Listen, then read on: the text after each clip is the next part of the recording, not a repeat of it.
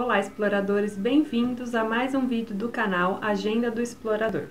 E para ajudar o canal, eu já peço a você que se inscreva, ative as notificações e deixe o seu joinha, que apesar de parecer muita coisa, é bem simples e ajuda bastante. E como nesse mês estamos falando sobre o Santuário de Aparecida, precisamos contar né, como tudo isso começou. E eu não estou falando da história da Basílica Nova, né, que já foi falado nos, nos vídeos anteriores, que se você ainda não viu, eu vou deixar os links na descrição desse vídeo. Eu estou falando dos outros locais que abrigaram a imagem de Nossa Senhora Aparecida antes de ela estar onde está. E sim, foram outros locais. Ela não ficou apenas na Basílica Velha, né, tão conhecida por quem vai visitar Aparecida ela teve outros lugares antes e eu vou contar um pouquinho dessa história para vocês. Como eu já havia mencionado, a imagem de Nossa Senhora Aparecida foi encontrada em 1717 e ela foi encontrada por três pescadores: Domingos Garcia, Felipe Pedroso e João Alves. E primeiro foi encontrado seu corpo e depois a cabeça. E era uma época de escassez de peixes e após a imagem ser encontrada, houve fartura de peixes, né, o que já deu um grande destaque para essa imagem na época. E após encontrarem a imagem, né, ela ficou na casa de Felipe Pedroso, um dos pescadores, por 15 anos. Mas como os fiéis só aumentavam, foi construído um pequeno oratório em Itaguaçu, que também em pouco tempo já não estava comportando a quantidade de pessoas que iam ver a imagem.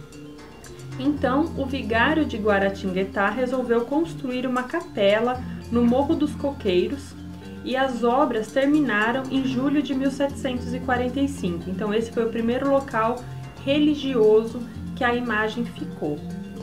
E com o aumento ainda contínuo de pessoas, começaram então a construir em 1834 a igreja de Monte Carmelo, que é a nossa tão conhecida Basílica Velha que foi consagrada em 8 de dezembro de 1888.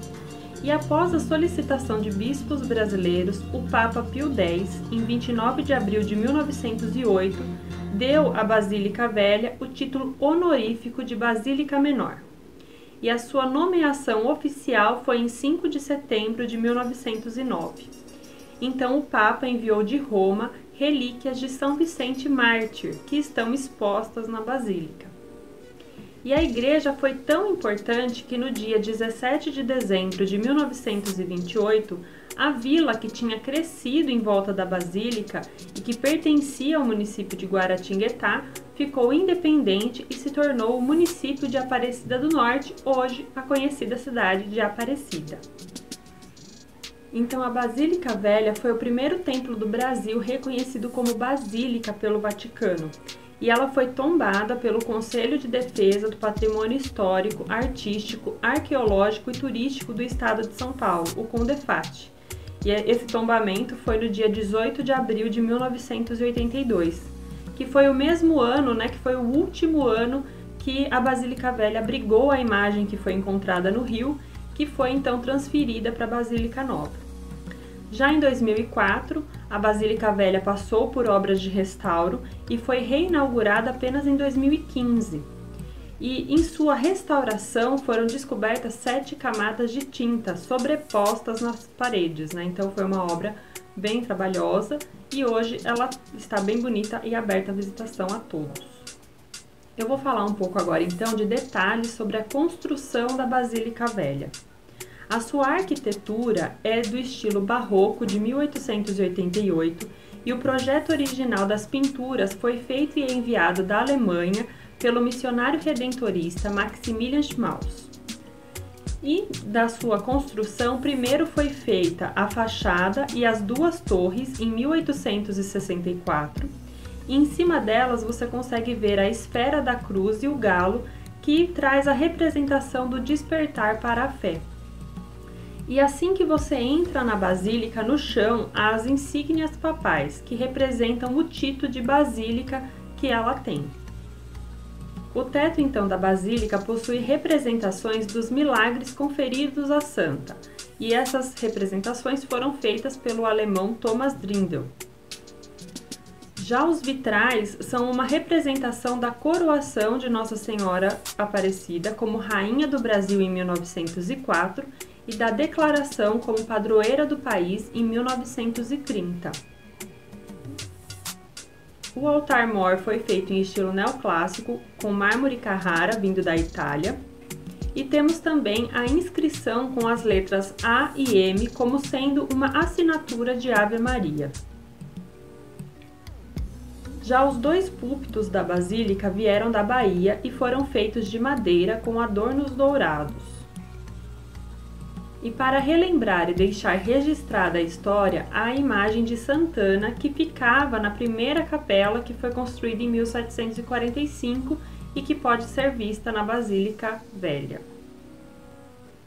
Já a imagem de Nossa Senhora Aparecida fica em um nicho feito na Alemanha, que foi produzido com metal com duas portas com detalhes em pedras preciosas e com dois anjos em prata. E já o relógio na fachada da basílica veio da Alemanha e é de 1906.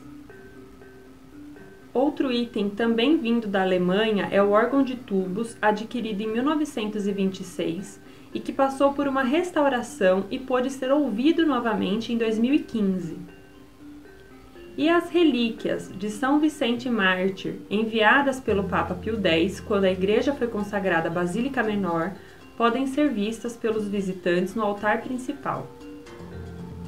Bom, esses foram alguns detalhes para você observar quando visitar a Basílica Velha e saber um pouco da história, de como tudo começou e o poder que a fé das pessoas teve para termos as basílicas que temos hoje, com as suas belezas características e os seus reconhecimentos internacionais. E mesmo tendo a Basílica Nova hoje, a Basílica Velha faz parte do roteiro de quem visita a Aparecida.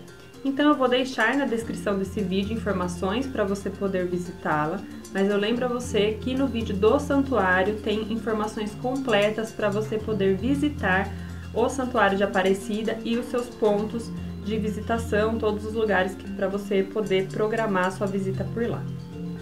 Então, com esse vídeo, com os anteriores, vocês conseguem perceber o quanto o comportamento das pessoas, a fé e até a política podem influenciar na vida e na história de um local?